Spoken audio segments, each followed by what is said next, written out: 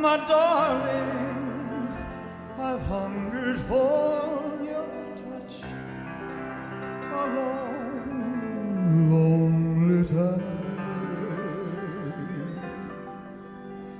Time goes by so slowly, and time can do so much for you. Still, my